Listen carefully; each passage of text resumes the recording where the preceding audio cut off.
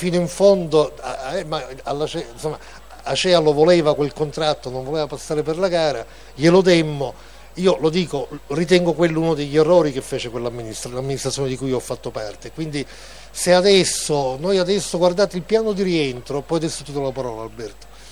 il piano di rientro noi dovremmo come Partito Democratico cercare di farlo leggere a tutti i cittadini di Roma, adesso leggerlo tutto è complicato, ma stiamo lavorando anche in funzione della conferenza programmatica che il PD di Roma farà a ottobre, ad un piccolo documento politico molto di sintesi da farci correre il più possibile perché quel piano di rientro ha dentro delle cifre molto importanti per la discussione pubblica nella città. Francesco D'Ausilio ce ne ha ricordate qualcune. Eh, eh, noi abbiamo fatto il piano di rientro e questa è,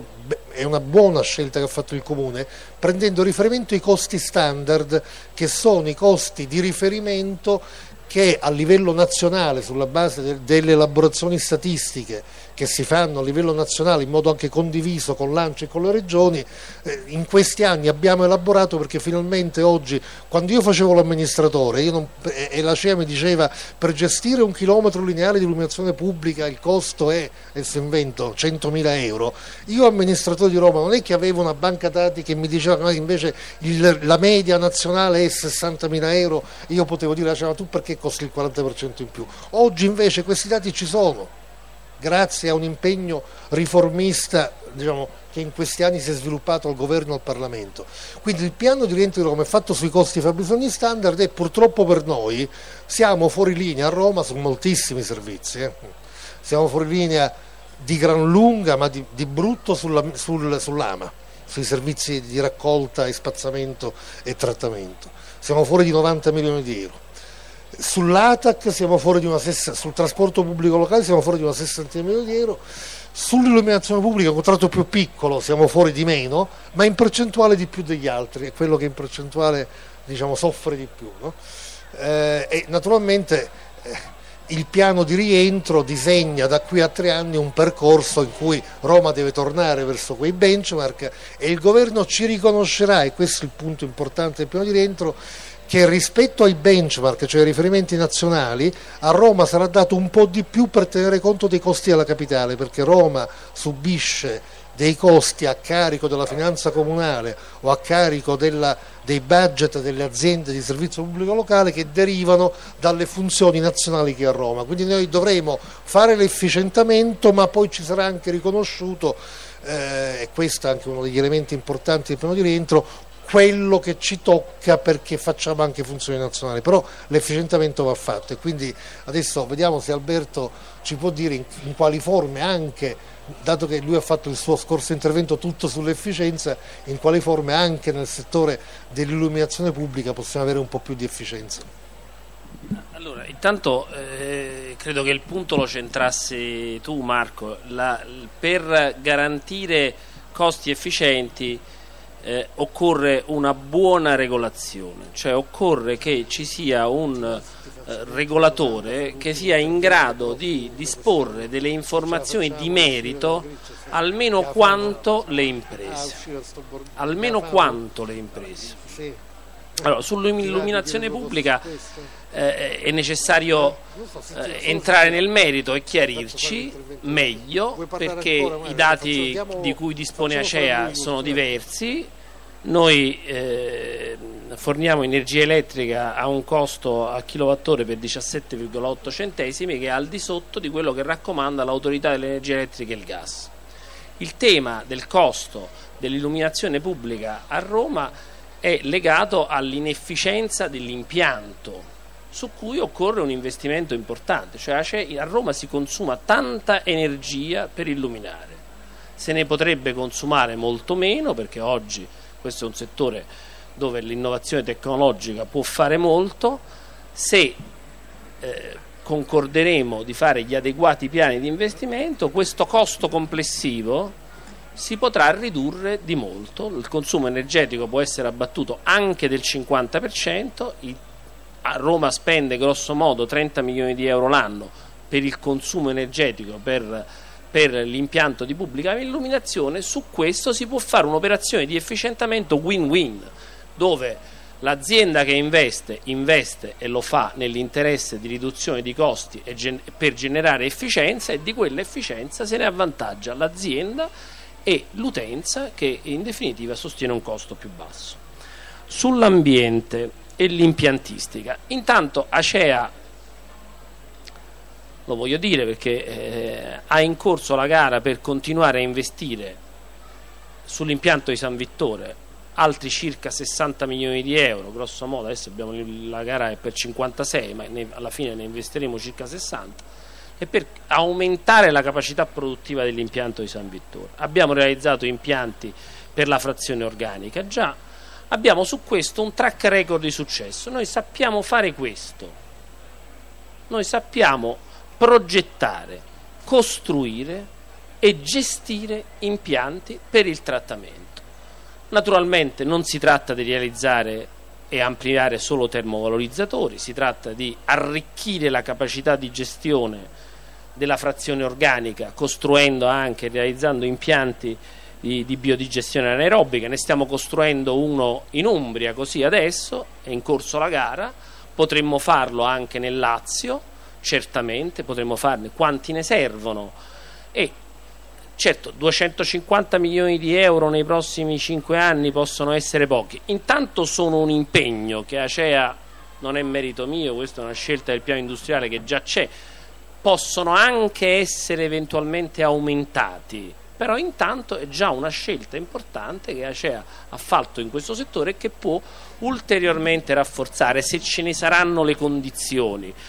Farlo insieme ad altri? Certo,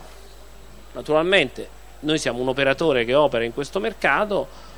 guarderemo con interesse su questo aspetto le forme di collaborazione possibili con gli altri operatori, a partire naturalmente da quello che sappiamo fare noi e, e abbiamo la presunzione di farlo bene e continuare a farlo sempre di più e meglio nel Lazio. E troveremo le forme di collaborazione possibili, eventualmente anche con AMA, ma anche con altri operatori, a determinate condizioni che sono sempre quelle di fare investimenti che eh, contribuiscano certo a risolvere la criticità della gestione del ciclo dei rifiuti, ma al tempo stesso creino valore, cioè siano investimenti efficienti, quindi finanziabili, in grado di generare valore nel tempo e quindi che possano essere gestiti oggi e nel tempo in maniera efficiente e continuare a creare valore, quindi per restituire il debito che serve a realizzarli, ma sulla base di una prospettiva di gestione efficiente nel tempo. E questo naturalmente sono condizioni complesse eh, alle quali Acea non si sottrarrà, contribuirà sicuramente anche col comune, con la regione, perché su questo è un ruolo importantissimo ce l'ha la regione, per, per fa e farà certamente la sua parte insieme agli operatori e ai soggetti istituzionali che possono dare un contributo eh, decisivo in questo settore. Alberto, cosa dovrebbe fare la Regione nel quadro di regolamentazione, nel quadro regolatorio locale per rendere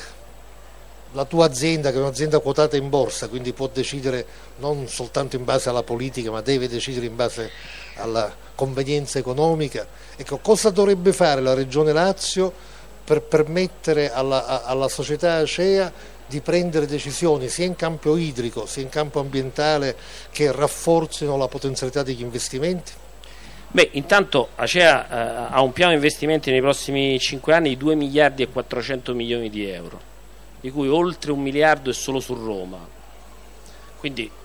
c'è già un impegno importante che sicuramente può essere rafforzato.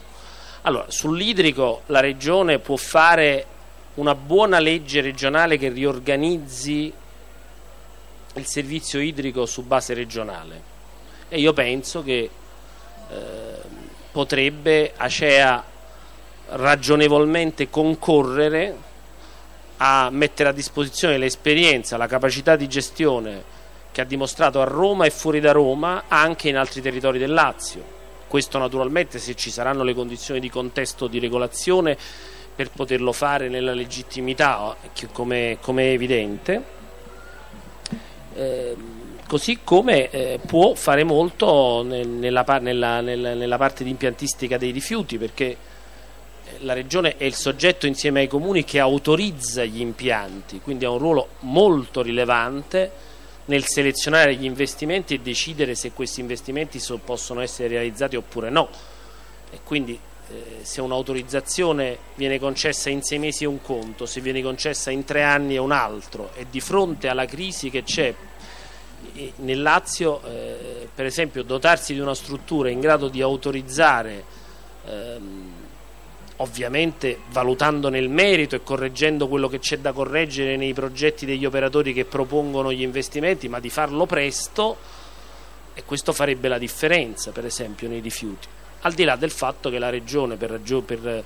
per, per ragioni eh, straordinarie in parte è un operatore del settore, forse su questo se risolvesse questa questione eh, aiuterebbe ecco, il mercato. Grazie Alberto. Io direi a questo punto che eh, sfruttiamo fino in fondo la presenza del professor De Vincenti eh, eh, per, per, fargli fare l'ultimo intervento. Eh, Claudio in questi anni eh, ha gestito dal tavolo del Ministero dello Sviluppo Economico tutte le più grandi crisi industriali italiane. Non è stato un lavoro facile e, quindi, e ogni tanto infatti si è anche depresso. Io vorrei fargli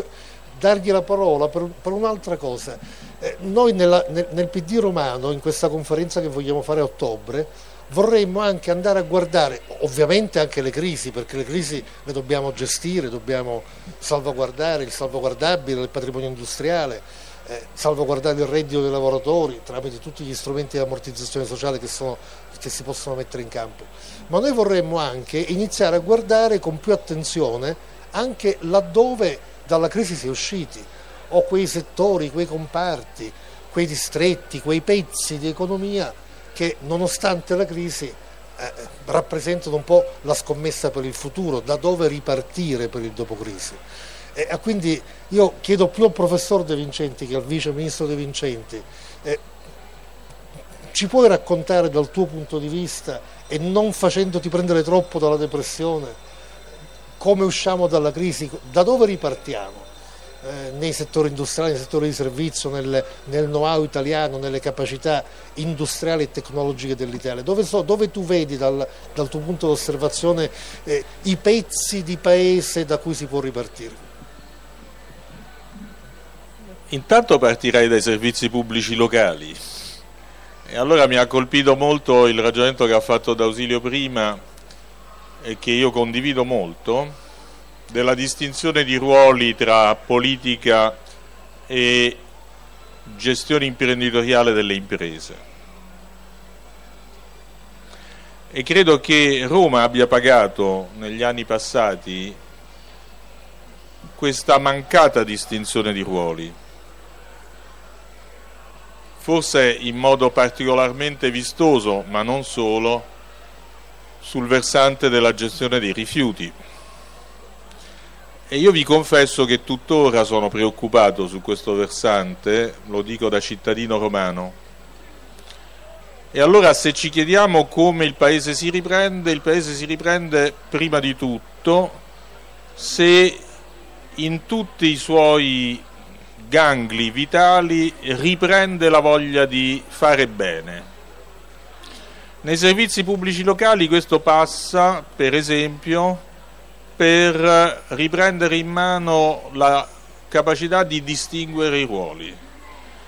e di fare in modo che l'esperienza imprenditoriale di Acea sia